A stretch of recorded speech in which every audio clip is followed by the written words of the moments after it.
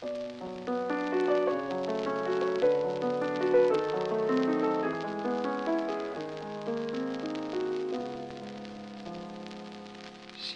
sporvogn kører hjem med folk, der har et hjem.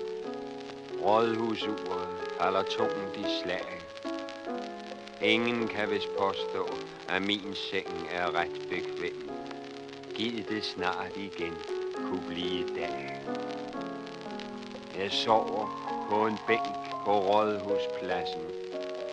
Jeg sidder sådan lige op og ned. Jeg kender ikke noget til madrassen, til puden og til al den herlighed. Og fan, jeg fryser.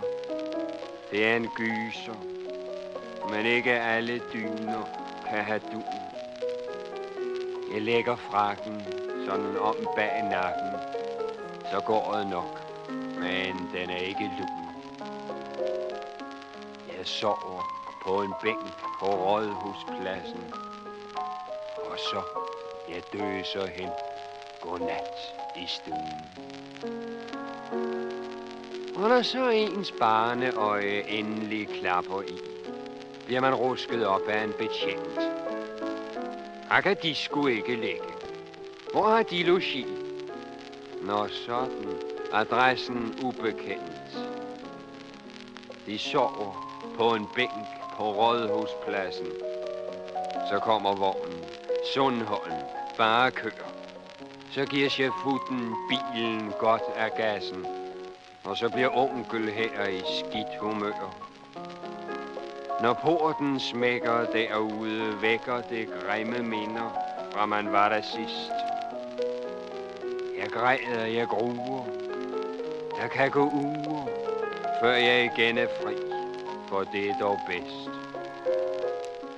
Og hellere have en bænk på Rådhuspladsen, end være kommunens bedste Sundholmsgæst. Det bliver aldrig anderledes. Jeg ved det godt. Jeg er kun en bums, en fattig frøns. Karakterløs og fordrukken er jeg, sig det blot. Det er noget, alle mennesker synes.